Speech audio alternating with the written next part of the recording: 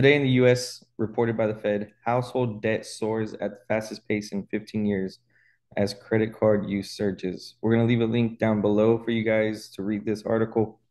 Um, we are, my name is Alex, and that's Kirby over there with the Passive Money Plan. We're going to jump right into a couple ways that you guys can get out of debt if you are in this situation.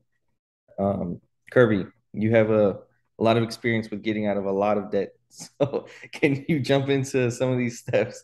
Yeah, and then uh, it's really five five easy steps, five, and I'm not gonna say quick, depending on your your debt situation, uh, how long it'll take, the timeline it'll take, but it's five simple steps. And then if you stay tuned to the end of the video, you'll see the sixth step on how we use or how I use uh being into debt to start buying assets and then you know accumulate a nice size portfolio and I flipped the script from being uh, super broke, or as, as Andrew Tate call it, brokies, to somebody uh, having, uh, like I said, pretty sizable network and have cash flow coming from different avenues.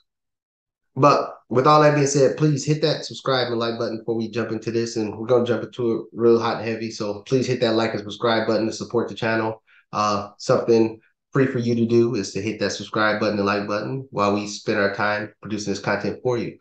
All right, Alex, number one, and then you can tell me if you disagree and we can go back and forth on this. But my first step, and this is a step I, I use to get out of a massive amount of debt, um, is just stop and inventory your life. You know, some people call it a budget, but just stop. Whatever, whatever situation you're in, no matter how much debt you're in, just stop. Well, everything you're doing, just stop and do an inventory of your life. And then, uh, you know, you got to do that B word, you know, budget. But if you just stop and inventory your life and then just find out what's really what's a want in your life and what's a necessity in your life, and honestly assess for yourself. If you really want to get out of debt, then you really want to honestly assess what's a real want and then what is a real need in your life. So, what do you say about that? Yeah, I would agree. Um, I fortunately, uh, for those that are newer watching, um, if you haven't seen our earlier videos, uh, I fortunately didn't uh, really have any debt. I'm 24. I, I mean, I, I didn't go to college or anything like that. I didn't buy any new cars. So, but I did do that uh, because I was trying to be very conscious of my budget and um, I know Kirby loves to go out to eat, but that was one thing I was doing a lot was uh, going out to eat. And uh, I was thinking uh, probably this is probably when I was about 19 that I was spending um, probably I did the math. It was probably like about five, six thousand dollars a year, or for that year at least, and just like going out to eat. And it was just because it wasn't like I was going out to lavish restaurants or nothing. It was just like I wasn't making my own food for work and I was just buying food out and I realized it added up a lot. So my my goal with that was to cut that expense out and just start, you know, cooking more at home.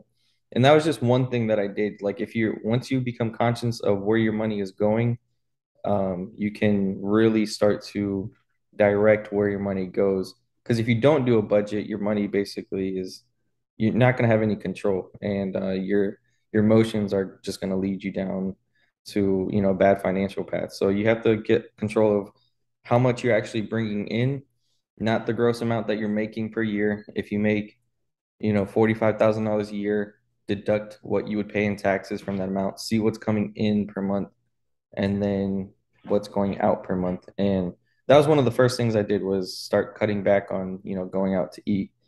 Um, and then you know learning how to make uh, coffee at home. Uh, you know i thought for for whatever reason i thought iced coffee was only sold out you know out out in the world. I didn't know you could make iced coffee at home. You know it's just mm. like i had this idea that maybe it tastes be- like worse if you make it at home but it's the same thing if you just know what you're doing. So there, there's things that you can a lot of things uh, people could do to really cut back on their budget. Um, or on what on their expenses within their budget.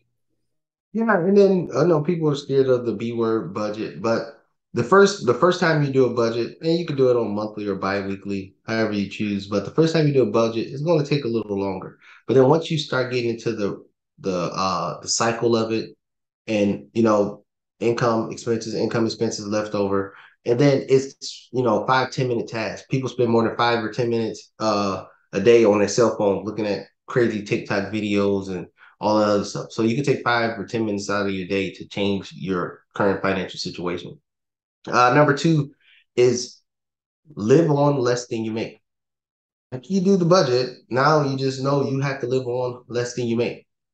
And then, so, you know, no matter what the number is, it's not about how much money you make, it's what you do with the money you make. So you live on less than you make. So if you're making $10 an hour, uh, maybe $30,000 a year, you have to live on less than that. I mean, of course, thirty thousand dollars a year after taxes is probably like twenty three thousand. So you have to live on net in twenty three thousand. You have to live on less than that, and right, you have to find a way. It's you have two options. You're going to either stay in the situation you're in where you're stressed out over debt, or you're going to find a way to live on less. And preferably, you want to find out how to live on less before the world makes you live on less. I.e., make the world making you recession comes and jobs getting cut and things like that. And now you're like, oh, I have to because I don't have the money. You rather do it when you can afford to do it. It's way easier to do it when you can afford to do it than when life or the world forces you to do it. And then when life forces you to do it, then you're scrambling the whole time. So if you're comfortable living on less than you make now, if a hardship come, you're already used to that environment, then you'll be good to go. Alex, what you got? Yeah, I would agree. Um, you just gotta do it. Um, and I I don't think a lot of people like to just make that change in their life. Um, I you know I, I never thought it would be so hard to like when people come to me like at work or whatever and like ask for like tips, and I just tell them like it's basic stuff like you know just cut back. Don't you know some people go overboard with like the holidays. Like the holidays, there is I never realized there's such a cycle to people going broke with holidays. And they're just like strategically put throughout the whole year to just keep you broke. Like and people just stay in this loop. You get whacked in the head by christmas. And like i'm probably gonna make so many people mad but like like if people want to spend on the holidays like can you just spend less? Like i mean like people will spend like six grand on their kids for like christmas when they make 40 grand a year and then then you have Valentine's Day coming right around the corner. And then there's Mother's Day, there's Father's Day, there's uh, Easter, there's Thanksgiving, 4th of July, like uh, New Year's. And then like New Year's right after uh, Christmas. So you have to buy all the fireworks or whatever. Like, and people literally just get stuck in this loop. Like, I think if people just cut out holiday expenses, it'd save a lot of money. I mean, like I said, if people still want to celebrate holidays, just like man, like uh like I've told you about this, like my wife's family, um, what they do with Christmas is like they just have a lot of family over and they just make a lot of food. Like you rarely see any gift exchange. Like it's just bunch of food and just family time. And I, I don't see how much you know I don't see a lot of money being spent on that day with by them you know what I mean? But uh you know I think the American culture is very much like you have to spend money for it to be considered you know a holiday. And then of course your birthday is squeezed in there. And if people would control that you know is it really necessary? Is it needed to like, I can't stress that word enough. Is it actually needed for you to spend thousands of dollars uh, on a holiday for for it to be considered a holiday to you and your family? It's it's insane. Um, and you know, getting over that point, and then also you know just other leisure activities that people are just not willing to give up. They want to go to the theme parks. They you know, they want to have that annual pass or they want to have the iPhone forever plan. Uh, they want to go out to eat every weekend or every day. Um, I mean, if you can afford it, it's one thing, but if you can't and your budget is showing that you can't, and if you go to someone for financial advice, you obviously can't afford these things, but you go mm-hmm. for advice. But then when you're told to, you know, cut back on your lifestyle because you can't afford it, then you know you get offended and now you you you just aren't willing to to make those changes.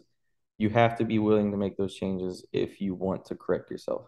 That's that's all it is. Yeah, I agree. I agree, and touche to all your points. Uh, number three, debt snowball. Alex don't know nothing about this, so I'll run into this one. Uh, so debt snowball is it's a simple concept. Uh, simple concept. You what you do is so now you inventory your life. You understand that you have to live on less than you make. So you do a debt snowball. On the debt snowball is list all your debts from largest to smallest on a piece of paper. Largest to smallest monthly payments. The largest monthly payments to the lowest monthly payment. And then what you do, because now you know you have to live on less than you make, you're going to make the minimum payment for every one of those bills. All well, all that debt, you're going to make the minimum payment. And then with the extra money that you're going to have because you're going to live on less than you make, you're going to tackle and then throw as much money as you can at the lowest at the lowest debt. And then you're going to keep doing that till the lowest debt's paid off. So now you have that minimum payment plus what you was throwing at it to go to the next one that's uh, the next lowest debt, and then you keep doing that plow away till you go to the next the uh, the next lowest debt, the next lowest debt, and then you just build a momentum. Of course, like Dave Ramsey always say, people say mathematically that don't make much sense. You should go with the highest interest rate one, but this is not math. If we knew math, we wouldn't be in the debt situation we're in right now. What it is is is helping you build momentum so you can see progress. So you can see, all right, that credit card bill is gone, that store card is gone, um, this other credit card is gone uh, this dental bill is gone, stuff like that is starting to come off uh, your obligations. Then that's more mo- more money and more money that you will have to pay off the next debt and the next debt. And that's the higher and as the higher it goes and you get the debts cleared off. Now, once all those debts are cleared off, all that money is free to you to do what you need to do with it. Again, I didn't say what you want to do with it. I said what you need to do with it. Yeah. Alex, you got any? Yeah, yeah. Insight on that? I do, I do. Uh, I know I haven't, you know, been in that that snowball situation. But um, it makes sense. Um, you know, like you said, uh, if people were mathematical, then they wouldn't be in debt in that situation. Um, you know, so for those people that have a lot of debt, uh, you know, consumer spending is very emotional. So for them to see that they're making progress, making those small credit card payoffs, it's it shows them progress, and that's an emotional effect to keep them on that path. Um, and uh, yeah, that I mean that's a great point. If like you said, if if they were mathematical, they wouldn't be in that situation. And that goes for investing too. Uh, Dave Ramsey talks about it. You have to be very financial lit, financially literate to uh, to actually know what you're doing when you're investing. If you or using leverage, if you if you aren't, then you're just going to ruin the whole thing. Right. And I agree. And then so we did step that's step three, debt snowball. Mm-hmm. Step four, but remember you doing step two, three, and four at the same time. So now you now you know you gotta live on less than you make. And then now you're probably thinking, oh, if I did this, that snowball, then it's going to take me X amount of months, X amount of years to complete.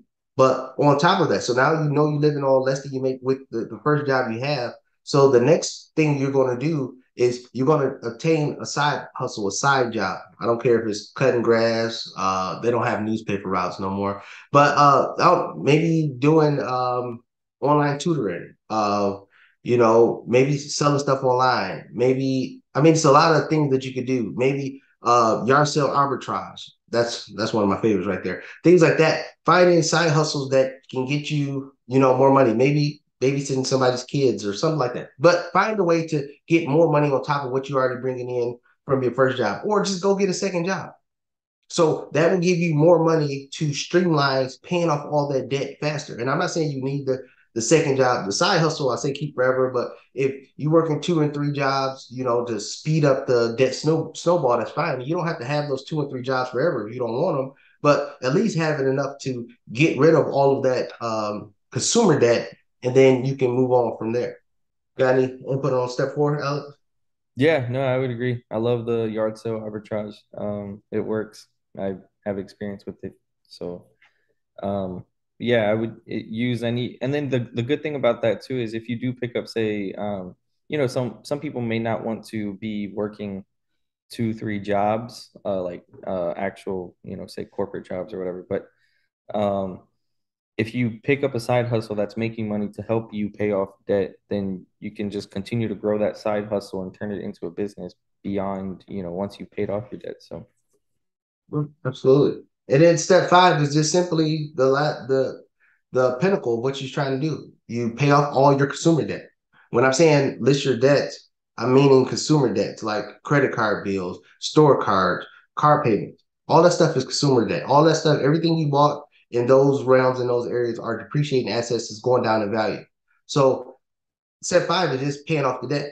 And once you pay off the debt, all that money that you was paying monthly to all these different companies so you can have this debt or have these goods that you have in your uh in your arsenal.